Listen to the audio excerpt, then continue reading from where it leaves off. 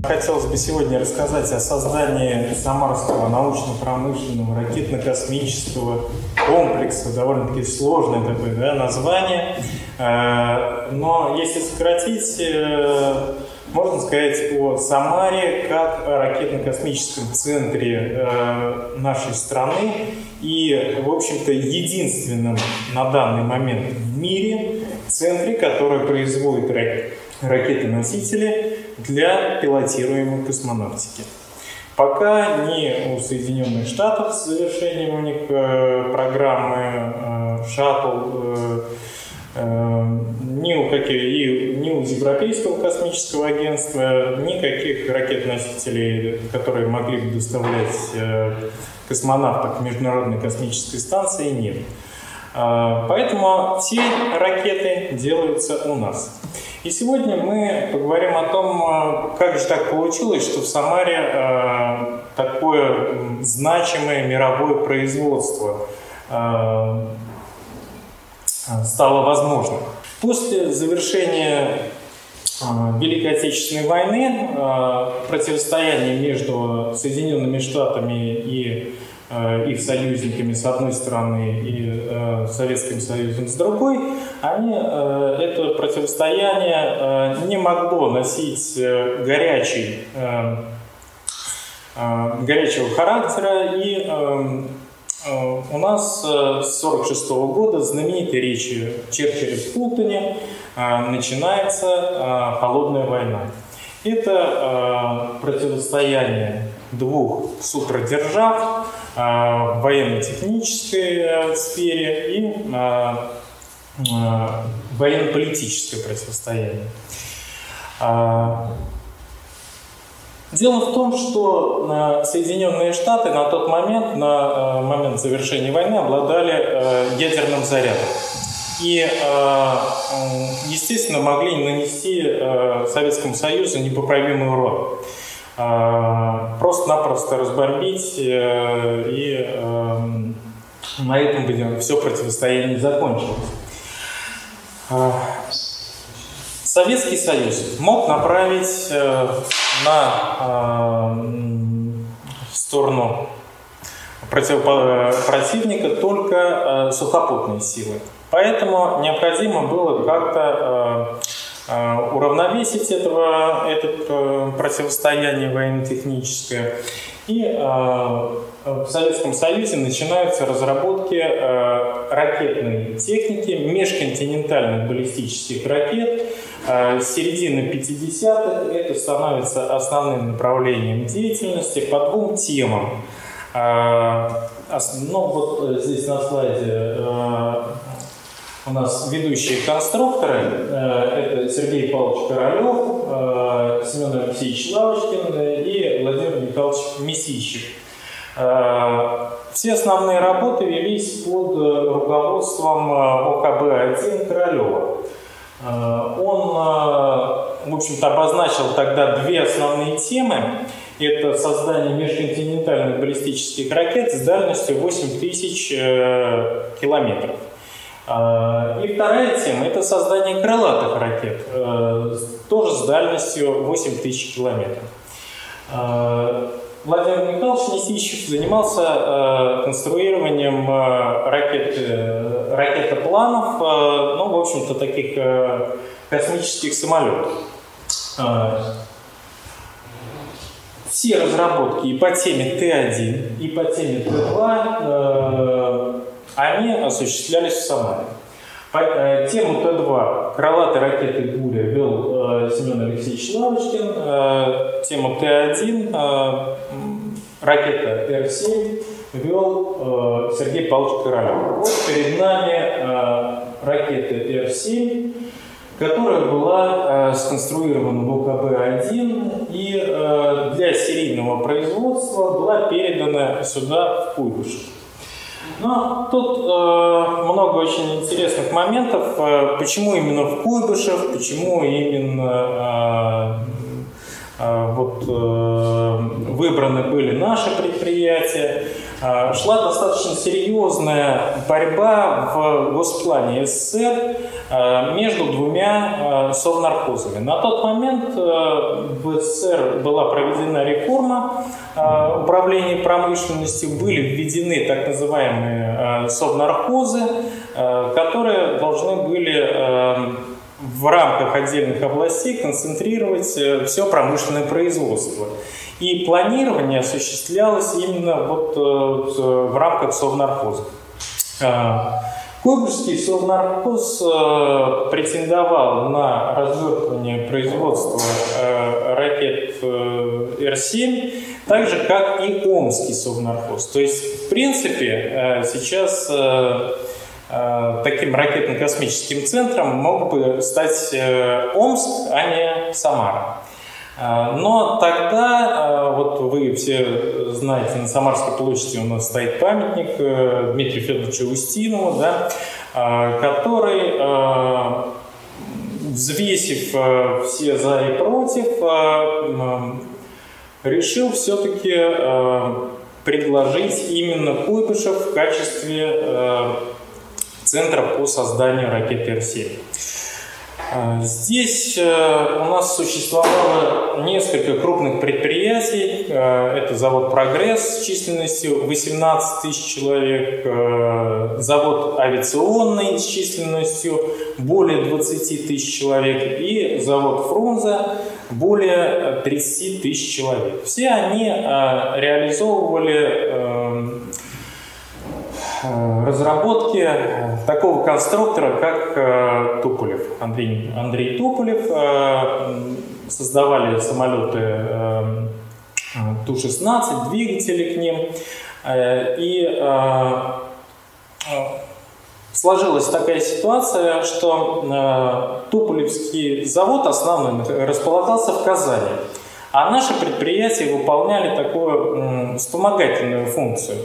И заказов к 1957 году, к э, времени э, завершения летных э, испытаний ракет Р-7, то есть по формированию научных предпосылок, научно-технических предпосылок развертывания серийного производства Р-7, к этому моменту заводы просто-напросто не были загружены э, заказами. И э, вот такая огромная масса людей, мы с вами видели, да, 18, 20 тысяч, 30, ну почти э, 100 тысяч человек там э, могла оказаться просто без работы. Да, что в условиях плановой экономики, в условиях социализма практически было невозможно. Э, поэтому э, посмотрели на расположение Куйбышева, который четко располагался по линии Москва-Байконур, э, и э, московским конструкторам не нужно было лететь сначала в Омск, да, в Сибирь, потом э, возвращаться на Байконур. А здесь, в общем, прямая дорога. Здесь было, были развиты транспортные пути, железная дорога была подведена, Э, речной транспорт, воздушный транспорт, э, но достаточно сказать, что э, аэродром авиационного и завода «Прогресс» — это те два завода, которые стоят, ну, так скажем, через забор, они, это, на этот аэродром приземлялись самолеты Сергея Павловича Королева, приземлялись самолеты первых космонавтов, которых встречали заводчане, очень интересные воспоминания по этому поводу есть в музеях этих предприятий. Но мы с вами говорим о начале производства, э, немножко раньше, до 2 января 1958 э, года, то есть официального начала производства э, ракеты Р-7 на территории Куйбышевской области, до этого момента, то есть в следующем году мы будем с вами праздновать юбилей создания нашего Самарского ракетно-космического центра – были, э, было начато производство ракеты «Буря». Э, вот смотрите, она имела такую конструкцию очень интересную, да, это самолет, но по сути коренного, коренной перестройки производства ракета «Буря» она не требовала. И, и э, с ее началом было всего у нас в Куйбышеве произведено 19 э, экземпляров, которые были испытаны, а остальные э, экземпляры, еще там э, порядка 16 экземпляров, использовались уже э, войсками в качестве мишени. А, вот эта ракета «Буря» сначала производилась на заводе «Прогресс», потом на а, часть э, на авиационном двигателе делались на фрун, заводе Фрунзе. Потом все было э, передано на а, завод «Металлист». Но к моменту образования Самарского центра в 1958 году на территории э, области Куйбышевской было только одно э, самостоятельное конструкторское бюро. Это авиационное конструкторское бюро э, ОКБ-276 Николая Дмитриевича Кузнецова. Э, к работам по ракетно-космической тематике оно будет привлечено э, в 1959 году, когда э, будет, ну, наверное, впервые в истории советской ракетно-космической техники объявлен своеобразный тендер на проектирование двигателей к ракете Р-9. И в этом тендере, тендере участвовал Кузнецов. По воспоминаниям Дмитрия Ильича Козлова, человека, который, я думаю, известен в Самаре каждому, двигатели Кузнецова на тот момент были лучше э, тех, которые предложил Глушков. Но э, все-таки эту э, тему выиграл именно э, Валентин Петрович Глушков. Дмитрий Ильич Козлов. Э, он приезжает в Самару э, в феврале 1958 года э, как руководитель э, пока еще не созданного, он будет создан чуть-чуть позднее, в апреле, э, отдела номер 25 ОКБ-1 Сергей Павлович Королев. Дмитрий Ильич Козлов очень примечательная личность для того времени. Он был секретарем Э, совета глав... знаменитого Совета главных конструкторов, и э, он же э, принимал в партию Сергея Павловича Королева. Вот, поэтому партийный был работник такой. Вот вы обратите внимание, да, у него не было левой руки, да, но это э, он прошел войну и э, потерял руку при обороне Ленинграда. Э, вот перед вами основные ракеты семейства Р-7. Да, ракета 1957 года конструкции Королева Р-7, ракета «Восток» 1961 года. Почему «Восток»? А, то есть название ракеты, ракеты-носители получали по тому космическому кораблю, который они выводили. То есть э, вот э, «Восток» — это тот космический корабль, который вывел э, в космос Юрия Алексеевича Гагарина. И ракета-носитель 8К-72, она получила название «Восток». А, но вот э, обратите внимание, здесь э, на картинке четко видно, что все они приблизительно одинакового э, конструкционно одинаковые, и постоянно добавляются какие-то новые элементы. Да? А, так вот, ракета-носитель «Восток» и ракета Р-7, она стала базовой для целого семейства ракет-носителей, и э, в том числе для того союза, который стоит у нас сейчас на проспекте Ленина. Э, постепенно добавлялись ступени, и э, одна из ступеней – это ступень э, ракет, к носитель «Восход», «Восход» – это вторая ступень от ракеты Р-9А, но они немножко попозже. Э, Почему нужно было такие э, создавать такой смесь? Ну, была бы Арсений, и была бы, да? Э, чего бы? Э, вывела же она в космос э, Гагарин, все хорошо. Дело в том, что ракеты нужны были такие, все время нужны были более мощные ракеты. Нужно было выводить все более...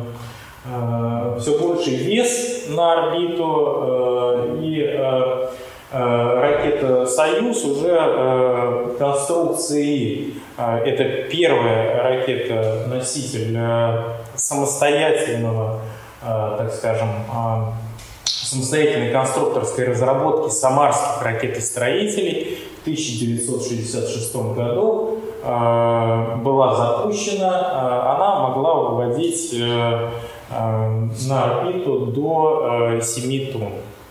Это э, масса для того, чтобы выводить э, достаточно тяжелые спутники и космические корабли. А, такой промежуточной э, фазы – это ракета-носитель «Восток». Ну, здесь нет ракет-носитель «Молния», который делался совместно с ОКБ-1 и нашим ЦСКБ.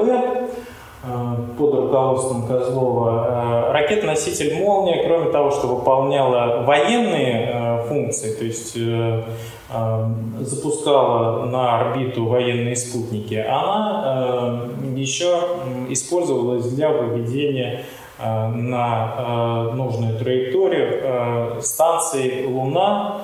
Но у нас было запущено их целых 24 штуки. А, период э, с 59 до 76 э, года. Вот это ракета Р-9, да, обратите внимание, не, э, она, эта ракета, в общем-то, для, для несения атомного заряда, для ведения ядерных бомбардировок и для каких космических э, целей она не использовалась. В основном запускалась в шахтном режиме. Э, но э, перед вами ракетоноситель Н-1, знаменитый, ну, по-разному называют эту ракету, королевская красавица, царь ракета, это ракета э, для того, чтобы была создана для эм, реализации пилотируемой лунной программы. Э, сейчас э, много говорят о том, что нужно начать заново лунную программу. И, в общем-то, у нас в Самаре опыт создания таких тяжелых ракет-носителей был, э, и, э, на мой взгляд, этот опыт был достаточно успешным, потому что а, те наработки, которые были эм, достигнуты в период э, производства N1, они эм, были использованы в дальнейшем при создании нашего шаттла «Энергии Буран». Э, эта ракета была больше э, Союза, больше Р-7, э, понятно, но приблизительно в три раза. Высота ее 105 метров. Целиком, представьте, да. Двигатели к ней создавались на, в ОКБ 276 Кузнецова. Все Вся она, в общем собиралась э, на заводе «Прогресс», отдельные элементы ее собирались, потому что э, собрать и в сборе ее доставить э, на Байконур для запуска было невозможно. Для этого был создан специальный филиал завода «Прогресс», авиационного завода где осуществлялась сборка этой ракеты. То есть э, там а, на Байконуре есть цеха, и э, наши э, специалисты туда ездят для того, чтобы осуществлять сборку э, ракеты Н-1, э, ну и других ракет-носителей. Э, вот э, что примечательно, ракета Н-1 так и не взлетела. Но, э, в смысле, не достигла своей цели. Она взлетела четыре раза, и все четыре раза запуски были э, неудачными. Последний запуск э, состоялся в 1972 году, четвертый запуск, и ракета пролетела 114 секунд. И, в общем-то, разрушилась из-за того, что произошел так называемый гидроудар, резко отключились двигатели первой ступени, а, и э, разорвался топливный насос. В результате возник пожар, и система отключила все остальные двигатели. Э, это э, было все-таки конструкционной недоработкой э, ОКБ, специалистов ОКБ-1, а не э, самарских специалистов, которые, в общем-то, вся вина за неудачные пуски была свалена на двигатели Николая Дмитриевича Кузнецова. Интересно, что на пятом экземпляре ракеты Н-1 был установлен э, знаменитый двигатель НК-33. А, эти двигатели, э, они э, уникальны чем? У них ресурс работы превышает в несколько десятков раз нужный ресурс работы для запуска ракеты. То есть необходимо, чтобы первая ступень отработала 114 секунд. На стенде двигатель работал значительно больше, там до нескольких тысяч секунд. А, получалось, э, что ну, в 1972 году, вот у нас традиционно считают, что в 1974 году у нас программу лунную свернули. На самом деле э, удалось выяснить, первый приказ по заводу «Прогресс» Э, о том, чтобы свернуть полностью лунную программу и работу по Н1, состоялся в 1972 году. Э, но, э, на мой взгляд, связано это было не с конструкционными ошибками, не с какими-то проблемами с двигателями и так далее. И даже, как принято считать, с экономическими трудностями в стране. А, официальные отчеты государственного бюджета, они позволяли а, нам а, эти ракеты делать без какого-то определенного напряжения. Так вот, основной причиной, на мой взгляд, были договоренности, которые были достигнуты президентом Никсоном и Леонидом Ильичем Брежневым в Москве. А, то, что опубликовано, а, дает э, нам возможность э, говорить, э, что да, нам было запрещено развертывать на территории страны, мы договорились так, пусковые установки ракет свыше 80 тонн. И это у нас в общем-то, состоялось. А, так вот, а, ракета, э, эти работы были свернуты а, именно в 1972 году. В 1974 году состоялось официальное а, закрепление и ракета Н-1, она э, прекратила свое существование. Двигатели ракеты Н-1 были сохранены э, на э, СНТК имени Кузнецова на управленческом и э, э, в дальнейшем с успехом устанавливались на американских ракетах «Атлас» э, и «Таурус». Вот э, что касается начала э, формирования э, комплекса. С завершением э, формирования комплекса в 1974 году можно считать образование Центрального специализированного конструкторского бюро, которое стало самостоятельным конструкторским бюро и перестало зависеть от московского, административно перестало зависеть. От московского. Но э, здесь у нас на слайдах э, первые советские космонавты. Они по традиции королевской, как уже во многих источниках э, сказано было, приземлялись э, и прилетали в Самару, э, Куйбышев тогда. Это вот э, Юрий Алексеевич Гагарин на даче э, на просеке первый подписывает э, э, экземпляр газеты. А, а вот здесь на нижнем, э, на нижней фотографии Быковский и Терешкова э, вместе с э, первым директором завода «Прогресс» Литвиновым и на тот момент директором завода «Прогресс» Абрамовым. Но о Литвинове можно рассказывать много, очень интересный был человек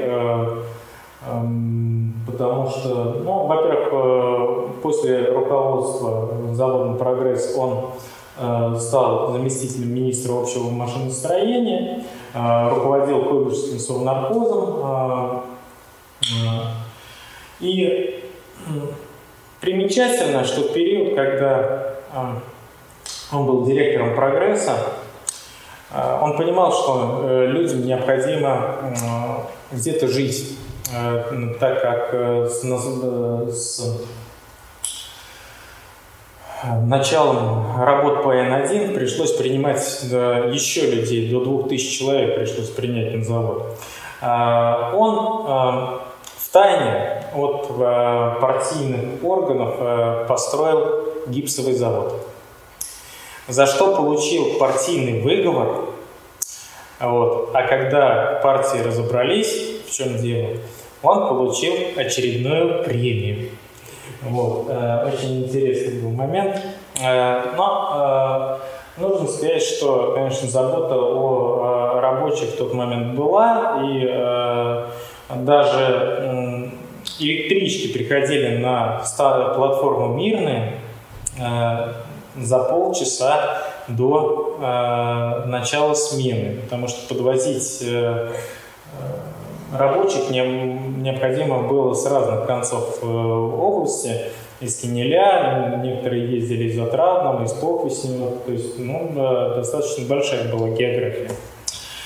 А, Но, ну, а, здесь э, у нас на слайде э, спутник «Зенит-2». А, эти, это второе направление работы комплекса. Спутник «Зенит-2» Это фоторазведывательный спутник. Э, начало его производства на наших предприятиях э, э, на заводе «Прогресс» 1962 год. 1964 года всю работу по фотора... спутникам фоторазведки Королев передал Козлову. И все эти спутники у нас до сих пор развиваются. Вот спутник Янтарь 2К – это уже самостоятельная разработка а, КБ, ЦСКБ а, «Прогресс». А, он был запущен в 1974 году. Но можно еще несколько, я думаю, нужно сказать несколько слов о том, что наш комплекс мог стать полностью забрать себе всю пилотируемую космонавтику. А, дело в том, что э, э, с 62 до 68 года э, был, разрабатывался такой проект корабля «Союз ВИ». А, отчасти вот он нашел отражение в спутнике Янтарь-2К. Там два космонавта располагали, он был рассчитан на двоих космонавтов, два космонавта располагались друг напротив друга, и э суть этого корабля, э, космонавты должны были выйти в открытый космос, э, один космонавт, и спокойно разобрать спутник противника. Вот. А, ну, соответственно, фоторазведывательный спутник. А потом а, а, американцы это дело а, просмотрели а, и сообразили, что нужно устанавливать системы самоуничтожения. Спутников в этом случае, в случае проникновения. Э, и программа «Союз ВИ» была свернута, но свернута даже не поэтому, а потому что как раз в тот момент э, после смерти Сергея Павловича Королева возглавил э, ОКБ-1 Василий Мишин, а так как у них разработок таких передовых пока на тот момент не было, да, а тут еще куйбышевские товарищи э, наседают, ну как-то, э, конечно, они э, дали куйбышевским товарищам такие задания, чтобы куйбышевские товарищи не разрабатывали пилотируемые корабли в дальнейшем и оставили эту тему за ОКБ-1. А, но а,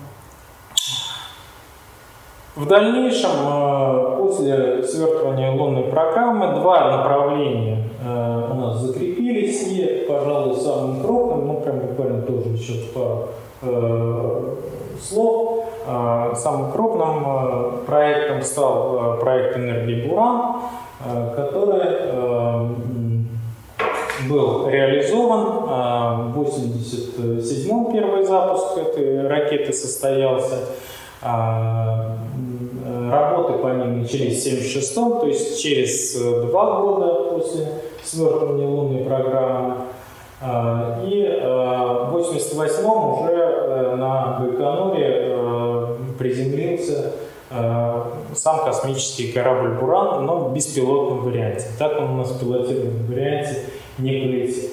Э, эта ракета уже имела возможность выводить, если Н1 выводила 80 э, тонн, то э, энергия выводила до 100 тонн.